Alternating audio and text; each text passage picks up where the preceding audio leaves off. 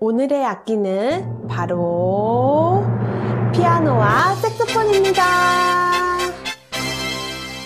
카프리, 그러면 피아노와 색소폰에 대해서 설명해 줄래? 네! 고고! 고고! 이 악기의 이름은 피아노입니다. 피아노는 피아노 포르테의 줄임말이라고 해요. 건반 악기 중 하나이며 1709년 크리스토포리가 발명했습니다. 피아노는 두 가지 종류가 있는데요. 그랜드 피아노와 업라이트 피아노 이렇게 두 가지입니다. 우리가 일반적으로 집에 많이 가지고 있는 피아노는 업라이트 피아노입니다. 가격도 저렴하고 부피도 작기 때문에 가정에서 많이 사용하는데요. 그랜드 피아노는 주로 연주회에서 볼 수 있어요. 피아노 줄이 업라이트와는 다르게 수평으로 되어 있어 소리도 풍부하고 울림도 좋답니다. 이런 아름다운 소리를 내는 피아노는 총 몇 개의 건반을 가지고 있을까요? 네, 맞습니다. 피아노는 88개의 건반으로 이루어져 7옥타브 음역을 소화할 수 있다는 점이 특징입니다. 우리 피아노의 소리 들어볼까요? 이번에는 색소폰에 대해서 알아볼까요? 이 악기의 이름은 색소폰입니다. 목관 악기 중의 하나이며 아돌프 삭스가 1840년대 초 발명했습니다. 음역에 따라 7개의 다양한 종류가 있는데요. 색소폰은 큰 음량과 아름답고 부드러운 음색을 가지고 있어 많은 사랑을 받는 악기예요. 군악대뿐만 아니라 대중음악, 재즈 등 다양한 장르에 연주되고 있어 우리에게도 익숙한 악기랍니다. 우리 그럼 멋진 색소폰 연주 들어볼까요?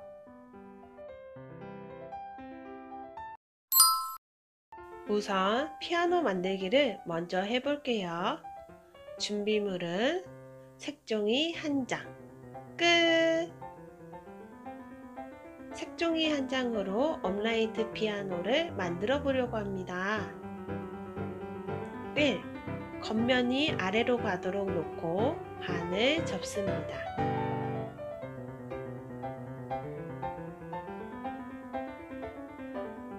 꼼꼼히 접어주세요. 2. 반을 접은 상태에서 또 다시 반을 접은 후 펼쳐줍니다.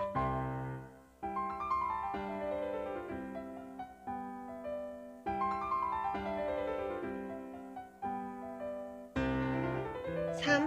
가운데 기준선에 맞춰 양쪽으로 반을 접어줍니다.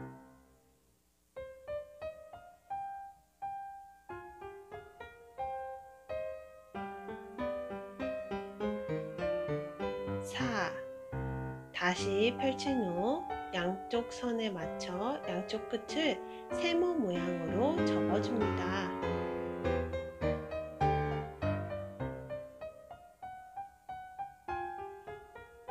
5. 이렇게 펼친 후에 안쪽에 손을 넣어서 벌려서 세모 접기를 해주면 됩니다.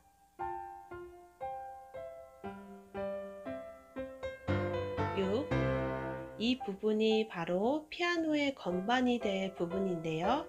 이 선에 맞춰서 접어 올려주면 돼요.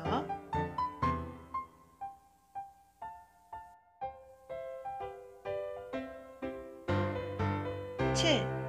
한번 더 위로 접어 올린 후 다시 내려줍니다. 이제 이 부분에 건반을 그릴 텐데요. 8. 피아노의 건반을 직접 그려 넣어줍니다. 9. 페달을 그려준 후 페달 부분을 가위로 잘라 위쪽으로 접어 올려줍니다.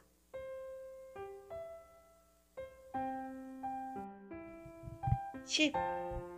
피아노 건반 부분을 접어 올린 후 양쪽 부분을 접어서 피아노의 모양을 잡아줍니다.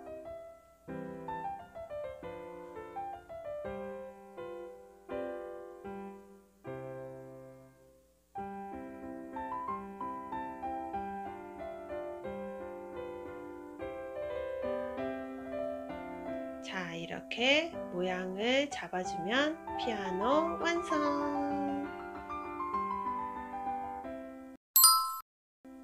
자, 이번에는 색소폰을 만들어 볼까요?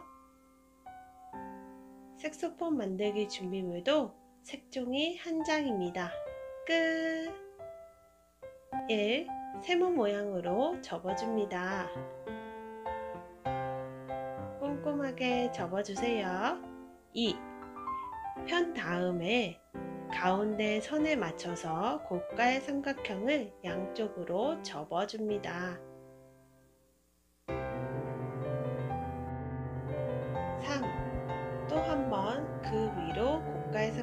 삼각형을 그려줍니다. 4. 아랫부분을 삼각형으로 접어주세요. 5. 접은 삼각형 부분을 다른 양쪽 삼각형 안쪽으로 넣어줍니다. 6. 전체적으로 반을 접어줍니다. 7. 얇은 윗부분을 내가 있는 쪽으로 꺾은 후에 바깥쪽으로 뒤집어서 접어줍니다.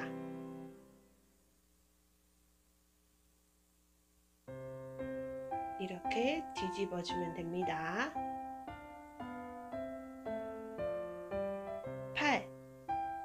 또한 번 더 안쪽으로 방향을 꺾어주세요. 이렇게요. 꺾은 후에 다시 바깥으로 접어줘야 됩니다. 9. 한 번 더 바깥으로 방향을 꺾어서 접어줍니다. 10. 이번에는 아랫부분을 뒤로 꺾은 후 바깥쪽으로 뒤집어 줍니다.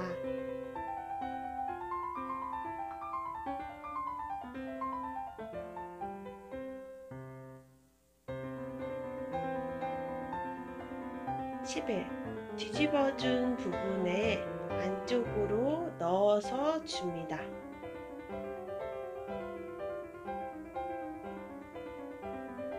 12. 이 부분을 접어서 깔끔하게 마무리해 줍니다.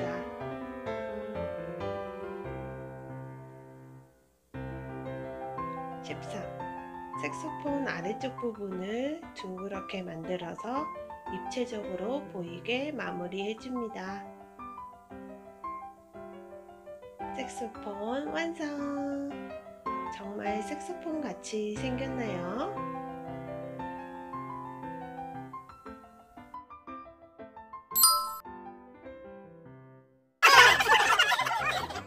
랄랄랄랄랄랄라 라온 뮤직